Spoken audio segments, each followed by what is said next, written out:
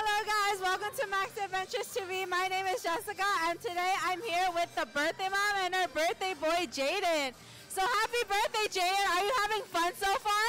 Yeah. What has been your favorite game here at Max Adventures? The laser tag? The Laser Maze Challenge, you like that a lot? Is it really fun? Yeah, you you can't touch the laser in the other first one. Yeah, are you having fun with your friends? Yeah, we're gonna play that later. So, birthday mom, I wanted to ask you. You have come here more than once. I wanted to ask, how's the experience booking a party? How do you feel about having a hundred percent private event for yourself with all your family and friends? How does it feel? Oh, it's amazing. That's why we love it. It's private. There's so much going on, so many activities for the kids. It's perfect. It's great. Yeah, would you def- would you recommend it to any of your guests, any of your family, friends? I would definitely recommend it to everybody because we were here for somebody else's party, and I said we definitely have to come in and have our own. So yeah, for sure.